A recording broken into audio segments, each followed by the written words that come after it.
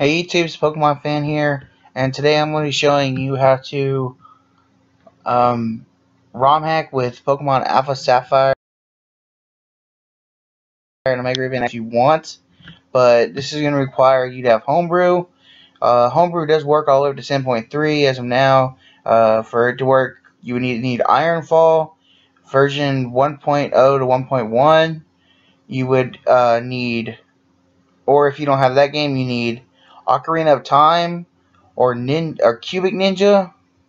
There's a couple other ways, but a couple other ways are kind of hard to do, so I just main recommend those if you have those methods, or if you have a Sky 3DS and you can get Cubic Ninja or Ocarina of Time, don't matter what country region, but you need to have Homebrew to make the other country versions work. So if you have a USA DS, get a USA copy of Cubic Ninja or whatever the ROMs.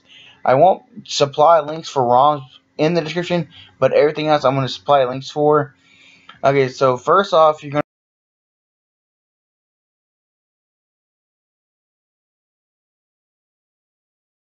to need, oh, later in the video, like what to do to dump your ROM and everything.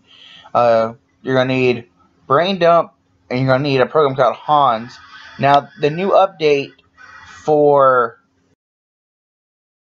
it which is pretty simple to find. And then Brain Dump you have to actually download from the from GBAtemp's homebrew page, which all links will be in the description. Once you get done doing the downloads and everything, um, what you're gonna do is that when you brain dump and everything, it takes a little bit of time depending on what game.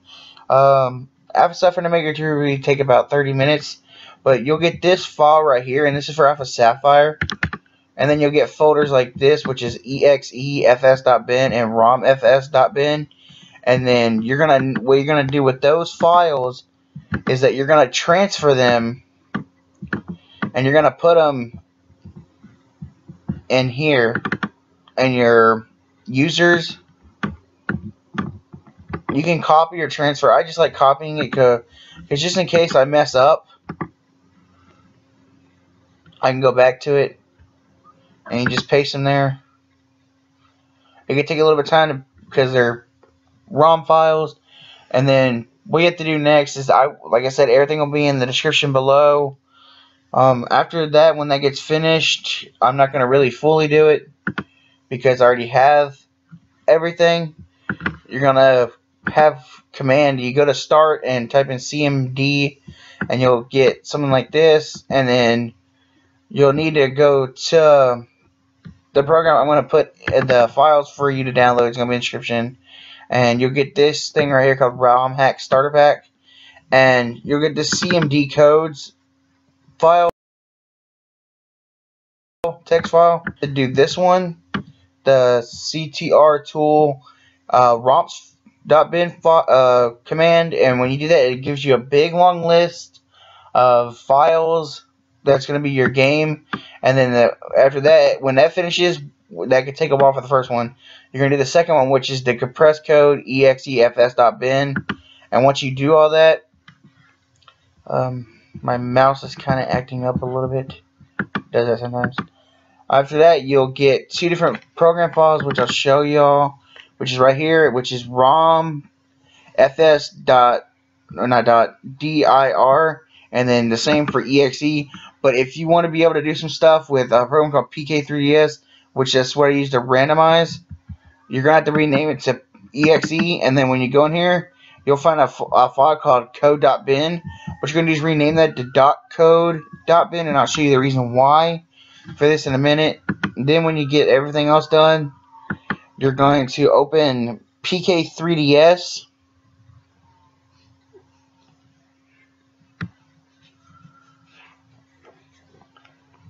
Oh, I opened the wrong program. I opened PK Hex, but that's a different program.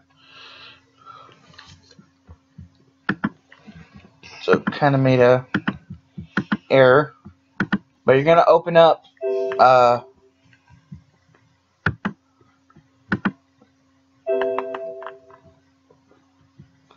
you're gonna open up this, which is PK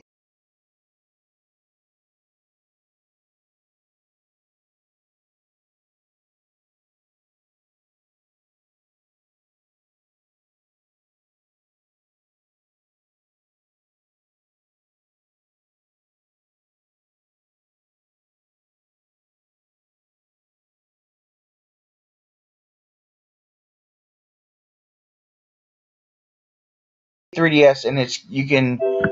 Okay, well I made a mistake and it opened it way too much.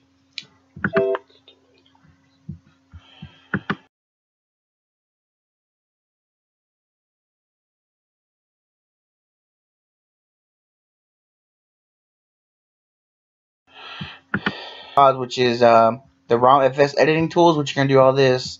And then the EXEFS, this this is why you need to do that. Name it EXE, and then that dot code. This is what you're to. This will do the pickup. You can randomize the teams to randomize the pickup items. You get the mart. Mewtwo and Opar says it doesn't work at so I'm not to try. And then this for type chart starters and gift Pokemon. For as of now, it causes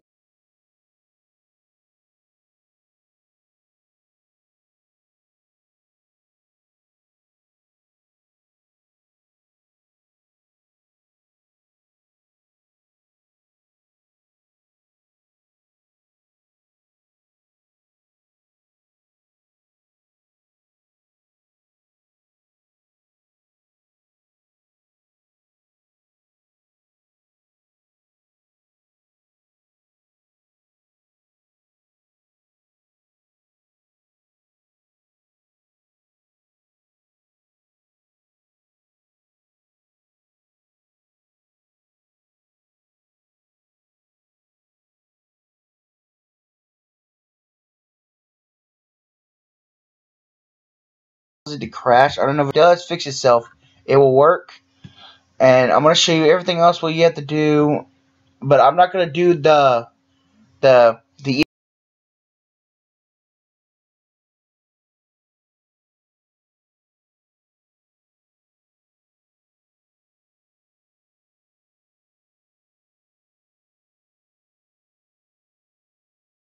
EXEFS, but EXEFS.bin. And when you do that, or you, when, when you download it from here, I'll repackage it from click and rebuild and EX EFS. Name it that. When you do that, you put it back in your user file and then redo the command thing again for just that one. And when you do that, you drag out the code.bin file and rename it the, the letters for your Pokemon game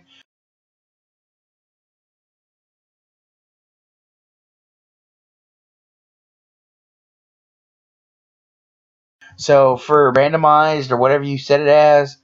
So, but like I said, it does take a little bit of time for the this to load. I hate that it does take time because it's gonna make the video a little bit longer. Uh, the capture software I have, it doesn't exactly. In. I'll have to record a whole new part just to do this. So it's pretty much almost done right now, and it's it's done. So when it opens up, it's gonna when it opens up, it crashed on me, which I hate when it does that because I clicked on it. Sometimes it will do that if you accidentally click on it too many times. Uh,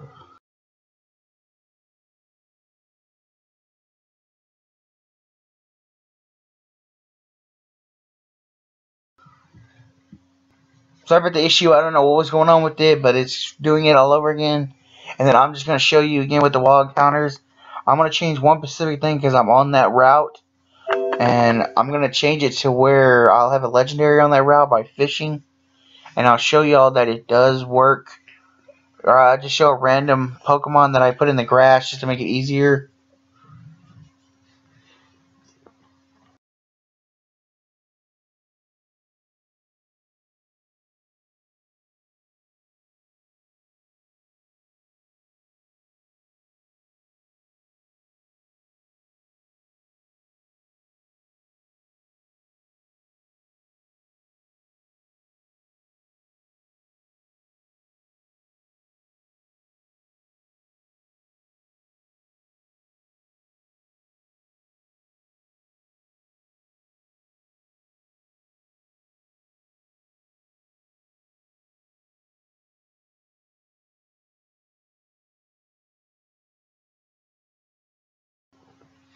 and it's going to load up. It does, again, take a little bit of time, which I wish it didn't. It takes a little bit of time for it to fully load up, and when it does,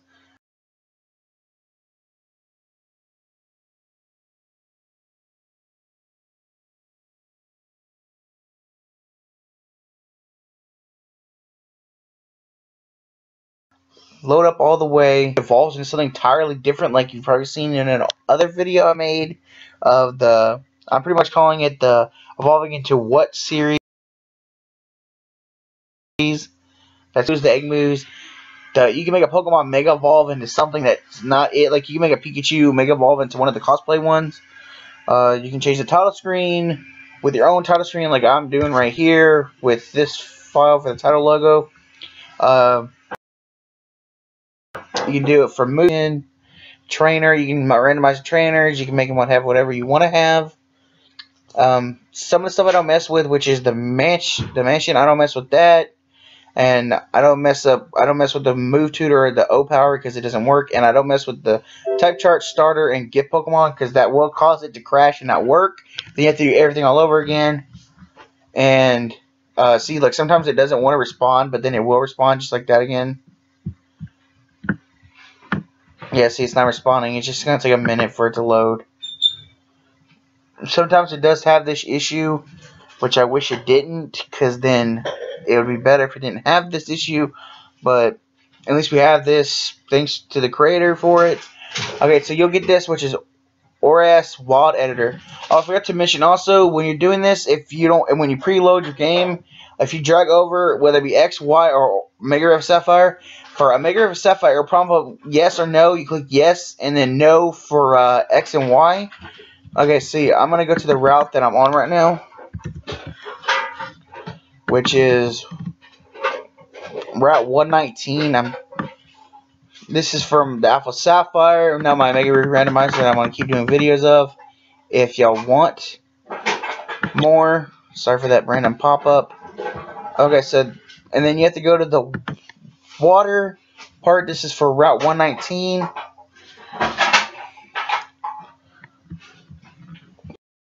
Did that, and, uh, and then what you're to do is that you're to, see, I'm to just name it that.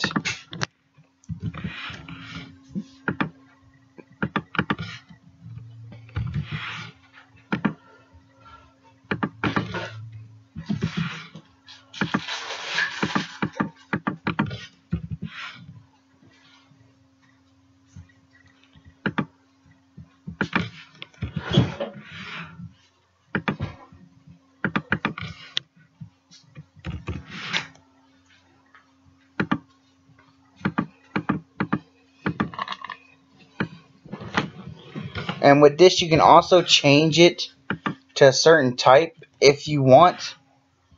But it it's a 50-50 chance of actually being the one you want unless you know the type. So, I know the type of certain ones, so I wouldn't do it unless you know that type. But that's what I'm going to do for the encounters. And I'm you have to click Save Current Encounters. And when you click save and do this, it would it would do. But I'll I'll show this with you as, and well. And what I'll do is I'll change the land, um, the tall grass. I'm gonna change one of the first one, and I'll change it to I don't know, uh, probably something that y'all probably like. Just not Voltorb. I'll change it to Volcanion, and then it'll show it. And then I click Save Encounters again just double click it to make sure, and then when you do that, get out of it, and it'll load it up. Once this loads up and finishes, I'll show you that it repackages it, which takes a while. I'm gonna off camera, off the recording, and then I will show you the rest on the 3DS that it did work because repackaging the the file does take a while or probably will combine this in like the one giant video.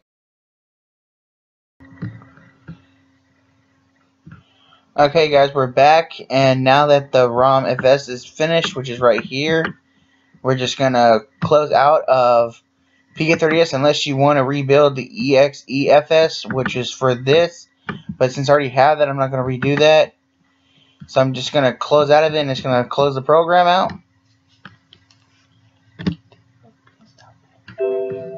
And then when you do that and it closes out,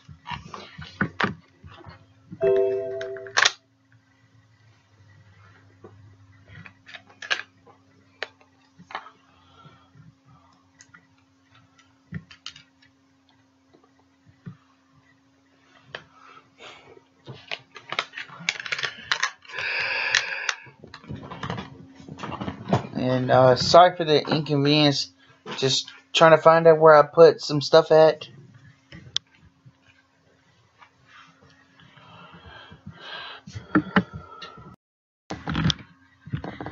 Okay, sorry for that little delay. I had to find some stuff I was looking for.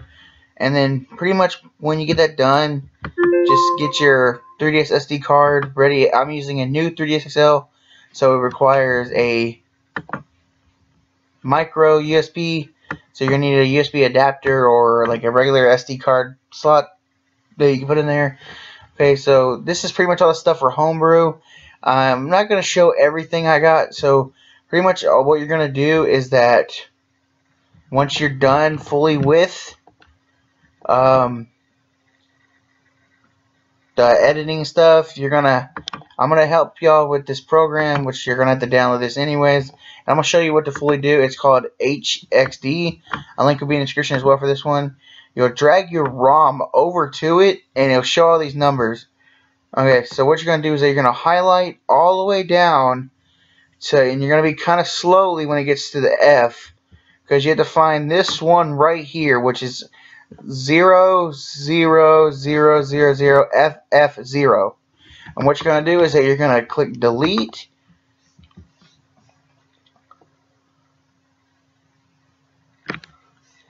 And when you click delete, it asks you do you want to do that, and you say okay.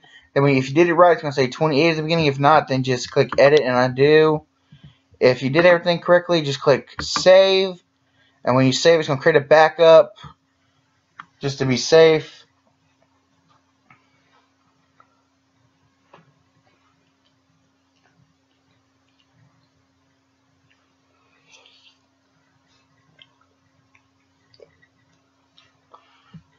And then, uh,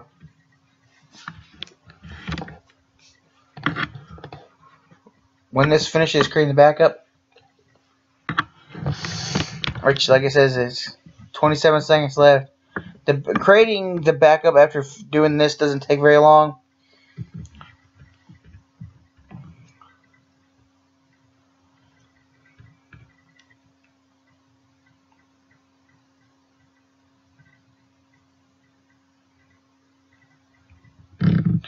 And then when that the backup is finished, it's going to save it, which can take a little bit of time depending how big the file and stuff is, whatever. See, what this does is it takes off some of the the filing to allow you to play it on Hans, because Hans is the homebrew program you need to make this work, and if you don't do this, Hans will load up still, but it will just crash or fail or freeze. It won't show up anything. And um, once we get this all finished, I'll transfer it to the SD card, and then I'll show you on with the 3DS on how that it works and everything. And this can take a couple of times, so you might see the video pause or whatever, because sometimes Homebrew is not really reliable and it crashes when loading up. Sometimes, sometimes I don't know why. Uh, hope the creator will probably fix it if he can. But anyways, this is almost finished, and when this is finished just gonna exit out of this and when you do that you'll just get the ROM itself go uh, you have to make a folder in the the main part for the 3DS called Hans. You have to name it Hans and then you open it up and I have other ROMs in already which I already have one for this but for the tour's sake and also because while I'm editing this ROM for my girlfriend anyways you're going to copy it, and then I'm going to replace it. And if you don't have one already there, it's not going to do anything like that. When it's finished, I'll stop this this video and then continue on the on recording outside of this.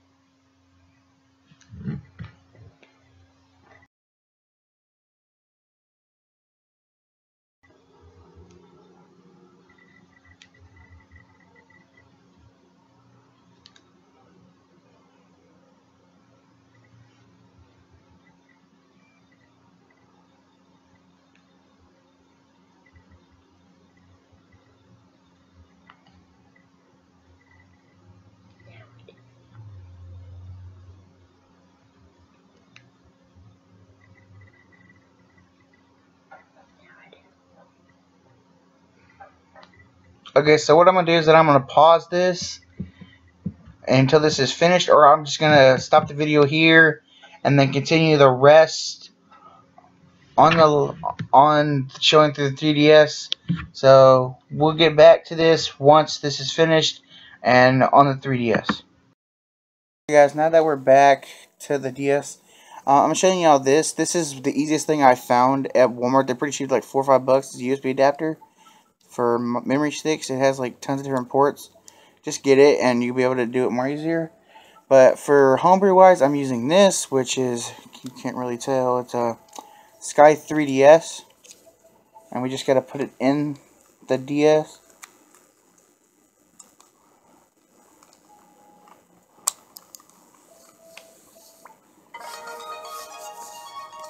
Okay, and then I'll show up Cubic Ninja.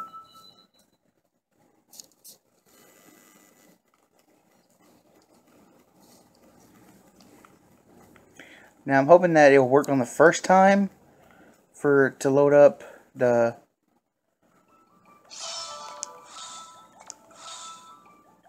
for homebrew because sometimes it doesn't want to work with me sometimes it does. If, if it doesn't load up the first time I'm gonna have to reset. Okay so for once it wants to work with me.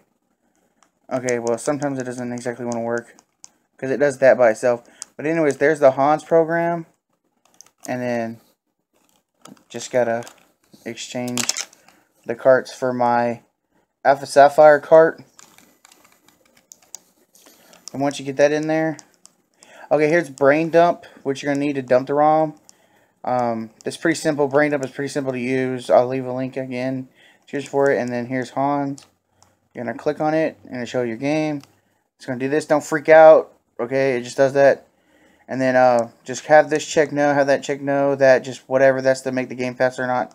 Then where it says code, if you did the code part, check yes. And then if you did, which the ROMs, which you need period, click yes. And then okay. Then it'll load it up.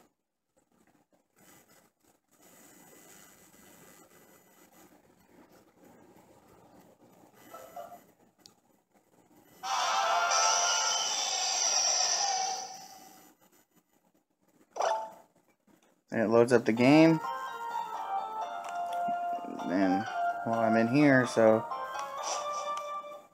Then if you look at the dex nav at the bottom which the game crashed because of the dex nav so sometimes it will do this if you do the ROM kind of wrong. So dex naving does have issues with legendary Pokemon for some reason. Uh, so I'd be very careful while using it. So what I'm going to do is just click on it again and um, I'm just going to turn off the dex nav before I ex exit out of the building. That way I can do it without it crashing on me. That There's that one issue with it besides the starter issue that that will happen. Don't know why, but in particular that happens. Um, the creator hasn't said anything about it that I've known. I've checked his Twitter nonstop and everything, and I'll have links to everything in the description. And also, it could be because of Volcanion, because, well, oh, well Volcanion, Volcanion, Volcanion, whatever his name is, you know, can cause it to crash. And then here I'm on Route 119, as it says down there, and then I'm going to go right here. And then just to show you a little bit before I do the Pokemon battle. Okay, so here's the team I have, which I have this Octillery that I did make, as you can tell, with the PC Hex is like PK Hex, but for the homebrew, and I'll just it's not really that great, but you know. And then you see how it's a it's a, a ground flying type, and the moves are all different. And then this is for all the Pokemon. And then I'm gonna show you right now with this. And then just throw the super rod out there. See, Octillery such a couple of people know how to fish chain. You know what it does. It allows you to get the Pokemon without fail. And then there it is.